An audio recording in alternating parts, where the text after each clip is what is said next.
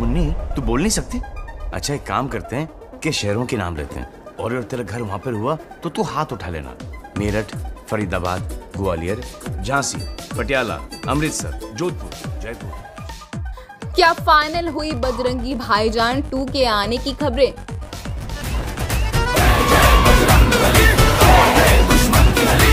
हम हैं पवन कुमार चतुर्वेदी। पर प्रेम से सब बजरंगी बुलाते हैं। क्या कहा डायरेक्टर ने फ़िल्म की कहानी को लेकर?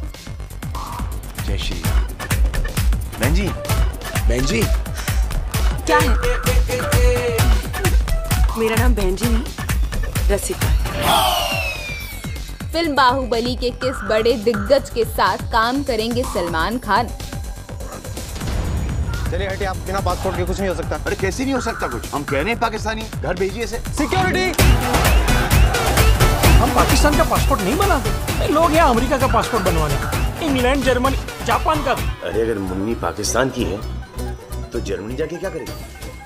हेलो एवरीवन स्वागत है आपका बॉलीग्राफ स्टूडियोज में।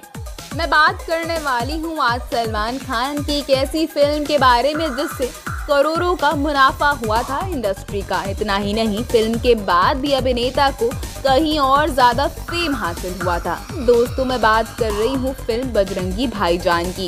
इस फ़िल्म को रिलीज़ हुए छः साल हो चुके हैं और इन छः साल में आज भी दर्शक इस मूवी को देखना पसंद करते हैं। तो उन्हीं फैंस और व्यूअर्स के लिए है एक गुड न्यूज़ जी हाँ खुशखबरी ये है कि फाइनली सलमान खान की ओर से कंफर्मेशन दे दी गई है। जल्द ही बजरंगी भाईजान का सीक्वल यानी बजरंगी भाईजान 2 बड़े पर्दे पर रिलीज़ होने वाला है।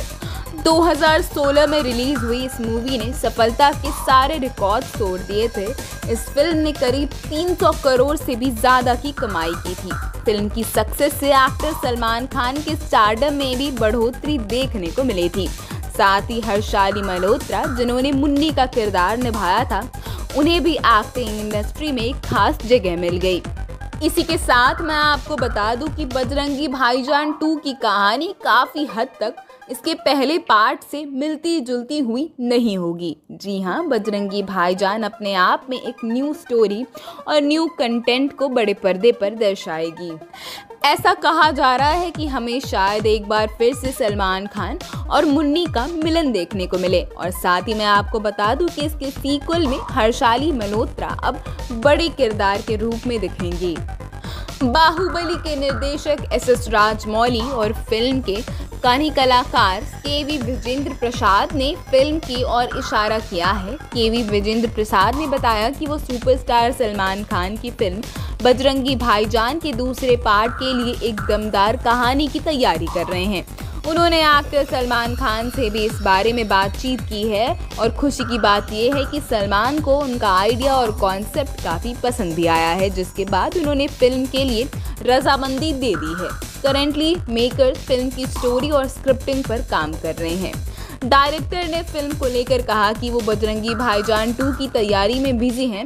उन्होंने बताया कि मैंने कुछ समय पहले ही सलमान खान से अपने विचार शेयर किए थे। उन्हें ये आइडिया काफ़ी पसंद भी आया है।